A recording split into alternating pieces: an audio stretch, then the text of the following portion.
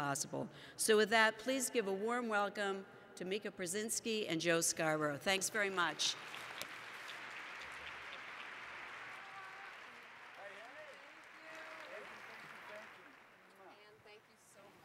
Ah, this is so exciting. I've got to say, as a founding member of the Massachusetts Women's Conference, it is quite a crowd. Hey, Joe. This is inspiring. Joe. I'll tell you, Mika's book. Joe, Yeah, women's conference. Women. right? Zip, zip. Okay. I'll start this one. Okay, I'll sit down Thank you here. so much for having us, everybody. My gosh, look at this crowd.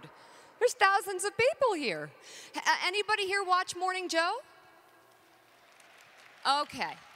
So then you'll know that we've been on the air for about four years, and you'll also know that Joe likes to talk. Does anybody agree with me on that? So we're going to control this situation. What I've done, Joe, is I just I have some questions here for you, Okay. and if you could stick to script, Okay. that would be great. Have you ever done that before? Oh, okay. I don't know. Okay, let me look at the first question. Here we go. Why did you write this book? What a great question. Thank you. Uh, the book is called Knowing Your Value, um, and that is just such a brilliant question. I don't know where you got that. Uh, the, the book is based on our experience putting together Morning Joe, which four years ago, Joe came up with the idea out of thin air after that situation with Don Imus. You want to talk about that? No. You may.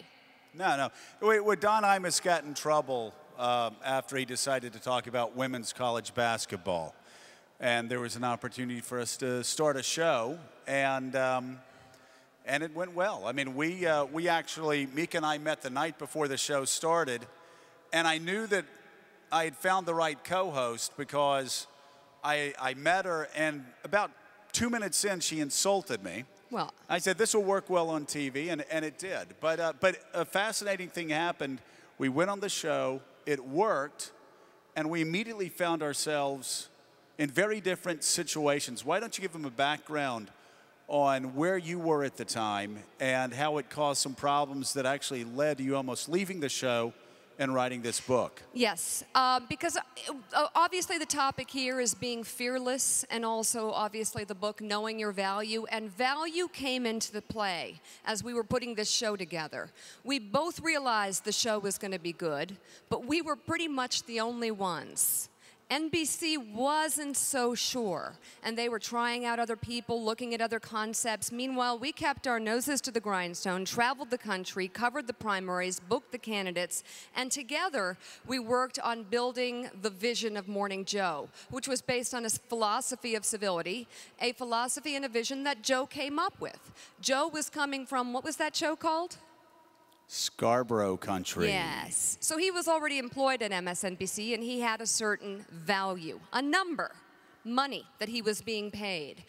I had been at the top of my career about a year and a half earlier at CBS News. I'd gotten just about what you would consider the best job a journalist could ever ask for in TV news, and that's a contract at 60 Minutes, as well as an anchor slot on the CBS Evening News Sunday. And six months after that happened, Dan Rather was fired, the Memogate scandal unfolded, a new president of CBS News was brought in, and I was fired on my 39th birthday. And for a year, I couldn't find a job, and I had to crawl back in by begging for any job. And I ended up on MSNBC reading cut ins for 30 seconds in between the shows they had in the evening. One of them was uh, Scarborough Country. Uh, so that's actually how uh, Joe and I met because Scarborough Country went off the air when Morning Joe began because he came to put the show on the air. But my value was different. My value was from someone who was working freelance at MSNBC.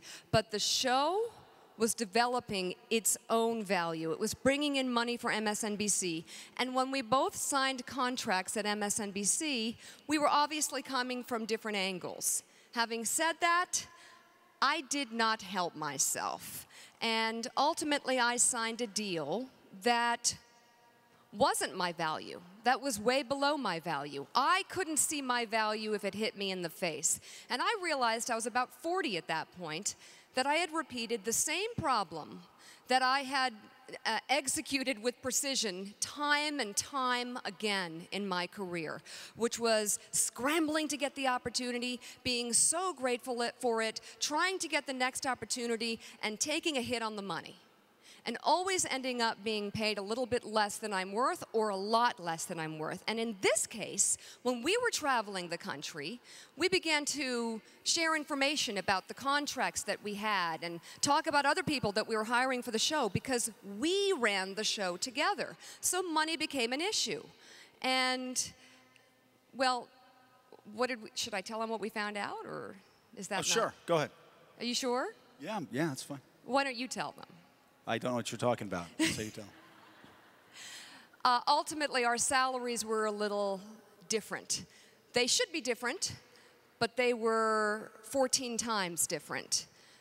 Joe was making 14 times more than Well, me. I didn't know you were going to tell him that. Well, I'm sorry. I thought that's what you. I was going to Yeah. give you the Yeah. opportunity to say it. Yeah. But it was a big disparity. And when we realized that, we realized we had a problem. We had a problem. Because while the show was Joe's vision, the show was nothing. There was no Morning Joe without me. And I think you can take yeah, it from and there. you know th- that's one of the fascinating things, not only about what happened with us on the show, but also one of the fascinating things is Mika was going through her negotiating with NBC. Um, and she really didn't uncover this until she started writing the book. That Mika was fantastic at telling me what my value was. Right? In fact, when we first started this show, five minutes into it, she leaned over and said, This is going to be a big hit. This show is going to work, and politicians are going to want to come here. This is going to be. I didn't. I said, Yeah, that's great. That's great. And I would have people come up to the show, and they would come in to be interviewed, and I'd get up to shake their hands, and she'd be like, Sit down. They're lucky to be here. I'm like, Okay. But the thing that Mika did not realize, and the more she talked to other women, and I want you to talk about mm-hmm. some of these interviews with, with, with women who are, are really influential, Mika was the last person to know her value. And while she could teach me how to negotiate with NBC, and while she was the toughest fighter for her children and for her husband and for her family and for her show, when it came to Mika knowing her value and fighting for your value, Terrible. it was terrible. And in fact, when you started going around trying to talk to other women mm-hmm. about what your value was inside the company, what happened? Well, that's a fascinating story. How many women here relate with this? How many of you find yourselves to be extremely comfortable when you're fighting for someone else? Let's say it's one of your kids. Let's say it's your boyfriend. How about a business partner? How about a husband? Are you the best advocate for him usually? Probably. Do you find yourself having a harder time advocating for yourself? How many women feel a little bit uncomfortable advocating for themselves? How many women feel a little uncomfortable advocating for themselves when it comes to money? How many women think it might even look bad to advocate for themselves for money? Might be a little unseemly. Yeah, that's the problem because women managers know you feel that way. And ultimately, we've got a few stories about dealing with the male president of MSNBC, and we will show the examples of how men approach negotiating and how women do. But before I get there, Joe brings up a really good point. Women, we use our weaknesses against each other, especially when we're negotiating, and it's up to us to cut through that by being clear and by cutting the drama and by pushing back when necessary. You know, I was doing an interview for the book with Carol Smith, who's the editor of Elle magazine at one time, and she was talking about how she hires a lot of women and the differences in how women ask for money and men, and she was really, we were talking about the problems she's confronted in her career. But here's what fell out of her mouth, sort of by mistake. She said, Women feel so grateful to be there, to be able to have their children, their husbands, and their jobs, and they're always scrambling around, and they kind of feel like they should undercut themselves a little bit because they're so grateful just to have the opportunity. Put a quote around that. She goes, In fact, I hire a lot of women for four day weeks because I'll usually get six days of work out of them. They're so grateful. And then she stopped and she said, Did I just say that? And I said, Yes, you did. Yes, you did. It was a perfect example of how literally women can use each other's weaknesses against each other and even capitalize on them. I had a situation at MSNBC with the vice president while I was trying to fix the situation of the disparity between our salaries. And she told me, This is a really bad time, Mika. Don't, don't ask for this raise right now. People won't like you. You're going to get a bad reputation. People are going to start thinking you're a problem. And you know what I did? There were two words I should have used. They're words that Joe uses all the time with his boss. I didn't. I didn't push back. We'd still be friends today, and she wouldn't be in this book if I'd pushed back and fixed the problem right then and there. But what did I do? Go ahead. Yeah, she so Yeah, Mika I'm too embarrassed to Mika even came say back to the office and she was actually crying. She's like, ah. I was like, "What's wrong? Don't do that. Why are you the worst. crying? I take it the meeting didn't go well, and Mika never cries." And she's like, ah. "She said they wouldn't like me if I asked for a raise." I said, "They're not supposed to like you. They're supposed to give you money because you deserve the money. Show me the money." And she's crying, and she's like, "Hold on a second. Maybe you're right, but this underlines a bigger point about the difference between how most men ask for a raise Right. and how most women ask for a raise. now, Oh, I think God. as a public We service, suck. look at this. We've got a big stage. All right. So as a public service, Yeah. let's show them the two different ways. Okay. Let's start with a woman. So I'm Phil woman? Griffin. So You're I'll be Phil Phil Griffin. Griffin. I'm the president of MSNBC. Okay. And Mika is Mika and many other women asking for a raise. So this is how I did it. I signed a really bad deal and I make really bad money and I'm going to fix it now, okay? Hey, Mika. Hi, I'm sorry. I- I know what- this what is a bad time. I'm sorry. I know this is a really bad time. It's probably a really bad time for the company and I'm I'm Well, you know it's a bad fault. time? It's I, my fault. I gotta, I gotta go get some drinks. Well, I just What? I wanted to ask you um Yeah. What? I, I, it's What? kind of a bad time and I'm sorry because I it is bad. one I gotta go. And listen, it's been great seeing you. By the way, how's Joe doing, doing? Uh, he's doing great. Am I doing a good job? Fantastic. Yeah, yeah, yeah. You're doing fine. Doing fine. Okay. So, yeah. All right. All right. See ya. So I didn't get the raise, but he really likes me. So that's cool. Uh, yeah. How many of you today have used the S word? S. Exactly. I'm sorry. How many of you used it? Just in any way? Yeah. Oh my God. I'm sorry, it's a bad time. I'm sorry to interrupt. Hey, I'm sorry. Stop it. You're not sorry. If you say you're sorry, especially when you're going into a negotiation, you're literally saying, don't give me the raise. Please, don't, give me the raise. Me the money. And by the way, you don't have to explain to your boss that your kids need braces. Don't play the victim. That's got nothing to do with how much money you are owed by the company. It's not Phil's fault. if you decide to take the money that your kid needs and blow it on a weekend in Vegas, that's not your boss's It's like nobody's problem either. problem. Which leads They don't care. to how men ask for raises. I'll be Phil. In this scene, Mika Brzezinski is played by, our Phil Griffin is played by Mika Brzezinski. Joe Scarborough is played, by Joe. This is how I keep getting raises. You may not want to try this. It's just worked for me, but this is how a lot of men do it. Hey, Phil, how you doing? Hey, buddy, how you doing? Uh, I don't know why you would call me your buddy. What? The fact of the matter is, we have more people watching our show now than you ever had under Imus.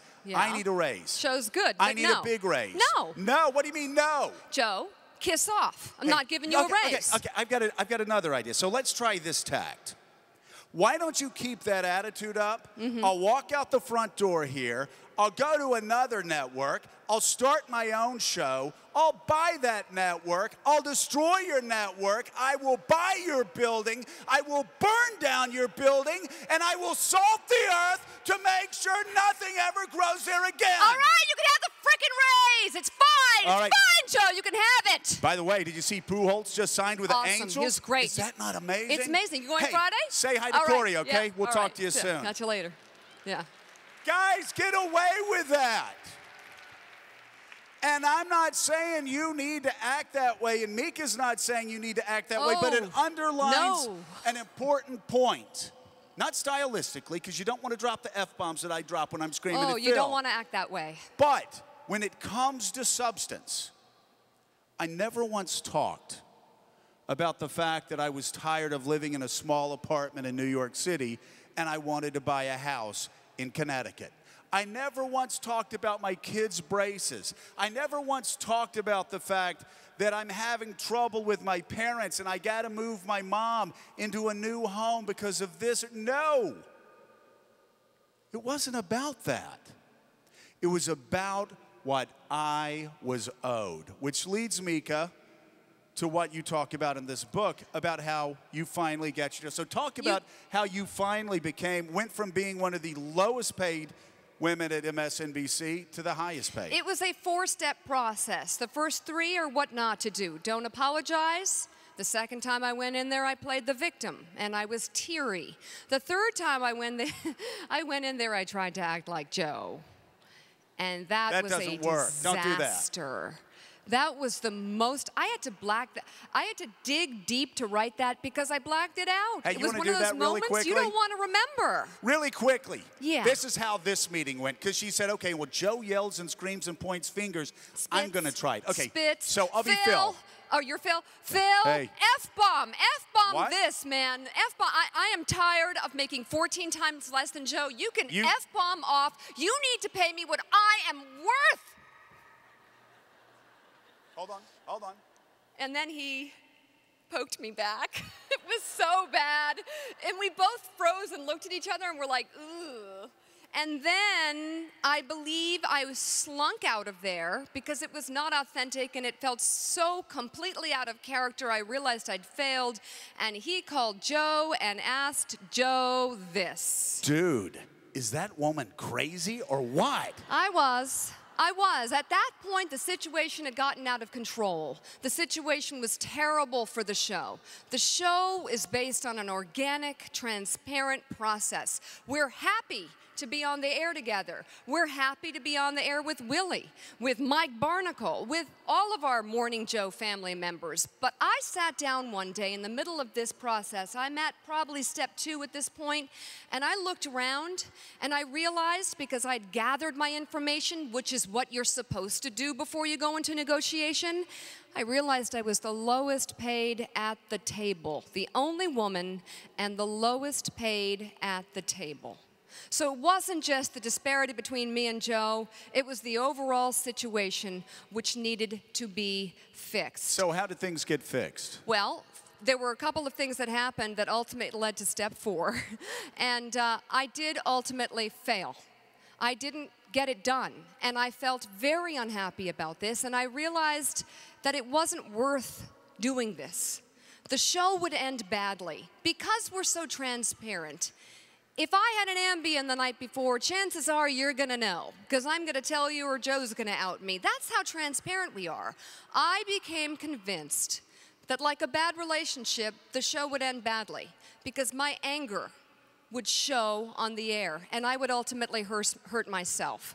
I had, by the way, missed a number of opportunities to make money on this show. Halfway through the process, I had ripped that script up. This is when the show was beginning, a Paris Hilton situation. They actually called me in and offered me a fourth hour on MSNBC, MSNBC Live with Mika Brzezinski. And you know what I said? Well, I'll tell you what Joe would have said. Joe would have said, Really, a fourth hour? How much is that going to cost you? Because that's more work. You know what I said? Thank you. Thank you 40 years old. Seriously? So then we had a situation where I was doing the fourth hour. Joe and Willie and Mike would lumber off the set and be like, oh, ah, I'm glad we're done with what we learned today. I'm gonna go sit down, I'm tired. And I'd be doing another hour for nothing. That is an opportunity, uh, that is a situation, a textbook example of missing the moment when it slaps you in the face. Ultimately, I told Joe I couldn't stay. I quit. I told him first because I felt we had built this show together. I owed, I owed him that information. And Joe asked me to wait two weeks, and then he did something a little bit unconventional. Would you like to tell them about that? Well, I, I actually waited those two weeks. I was done. I was fixing up my affairs so that I could figure out how I would continue without the salary that I had. I logged onto my bank account, and all of a sudden I saw this money in there. More money than I'd probably seen made in six months. And I, well, the first thing I thought was, did MSNBC screw up? And if so, do I have to give this back? After I processed that and realized there's no way they'd screw up that way, uh, I realized something else was going on, and here's what it was. Joe had negotiated not only his good salary, but ratings bonuses. He said to them, if I can beat what Imus was making, and if I can beat that, and if I can beat that, you guys have to give me bonuses and he had one of those bonuses diverted into my bank account. I don't know why you did that at first. In fact, I was a little upset with him, which led to a pretty heated conversation between us. It did. It, it led to a heated conversation. I had done it, though, and again, along the lines of why I did everything at work the way I did, I had done it for business reasons.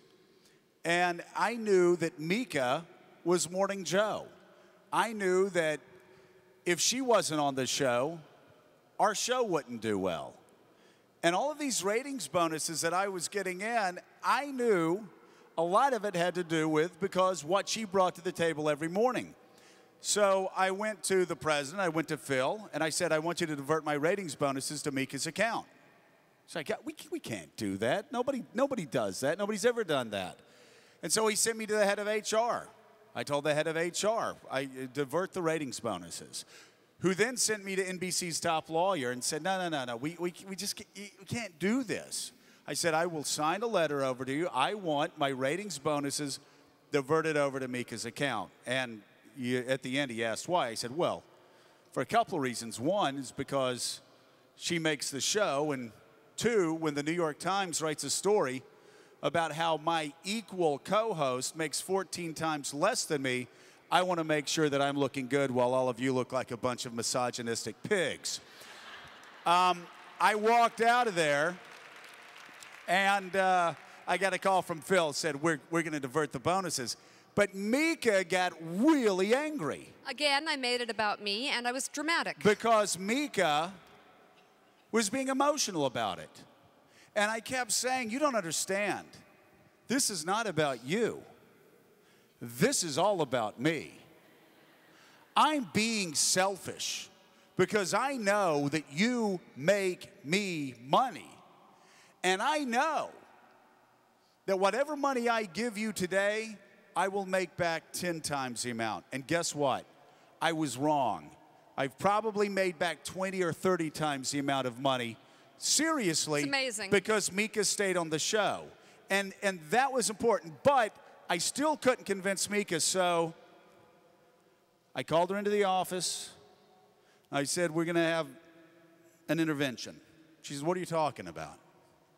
I put it on the speakerphone and I called her father, Dr. Brzezinski, who, by the way, had already called me stunningly superficial on TV. I told you not to have him on the show.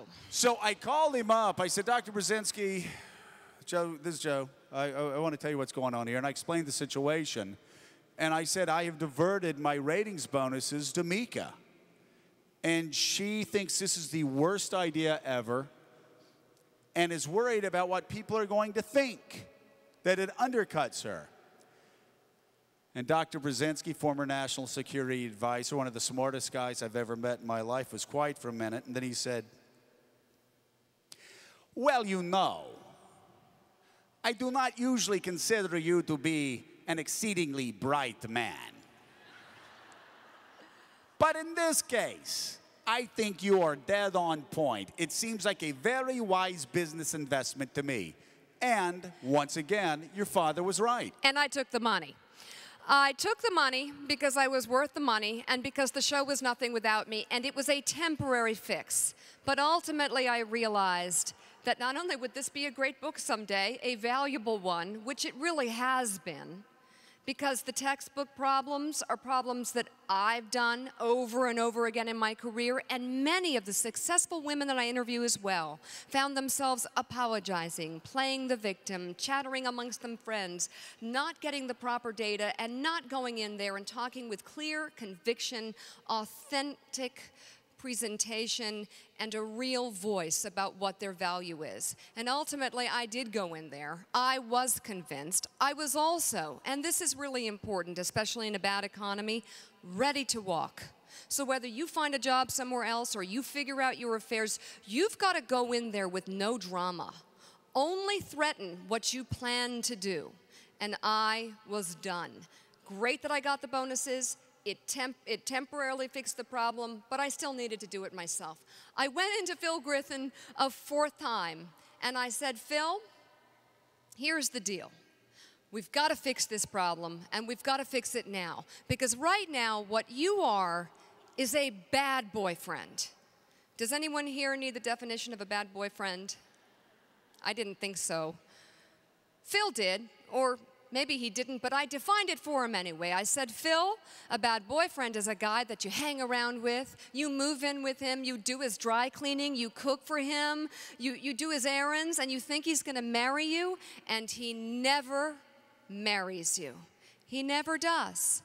You need to marry me or this relationship is over. And it's not over next month or next year, it's over now. Tomorrow morning, there will be a morning Joe without a morning Mika, and you don't want to try that.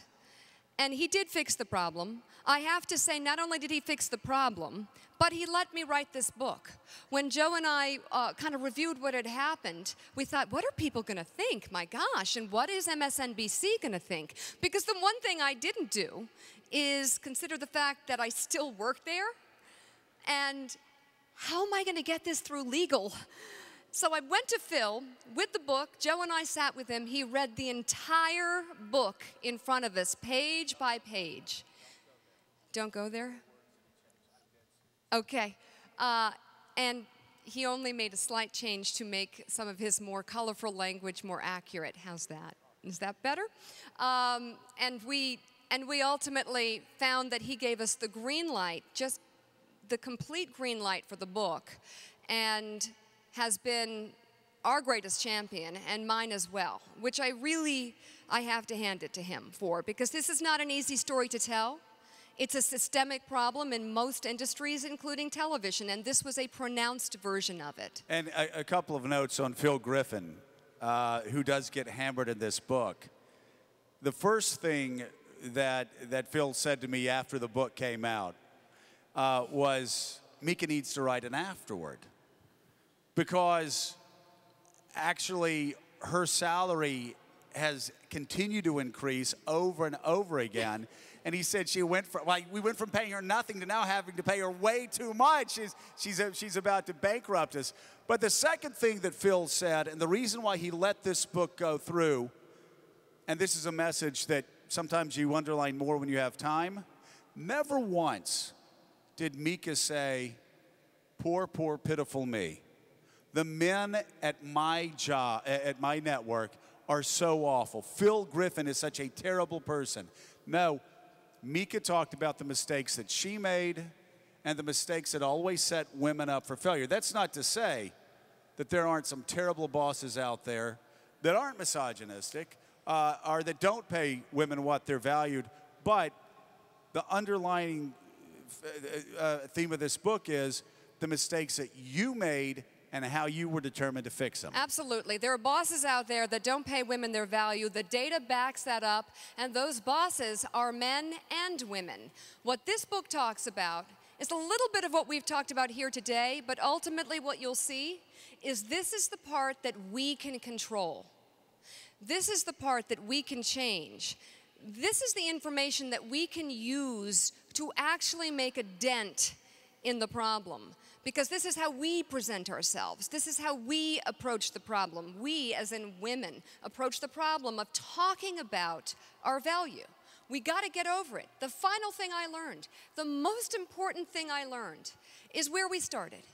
And that is that it does not matter if they like you in a negotiation. And trust me, do they like me? They do now. They didn't like me during this process. I didn't like me. I was all over the place dramatic, confrontational, angry. This was not pretty. But ultimately, when I got it done, no, they didn't like me. I cost them a lot of money. It's not a comfortable thing. We have to get comfortable having a conversation where we command respect and put aside the concern about being liked.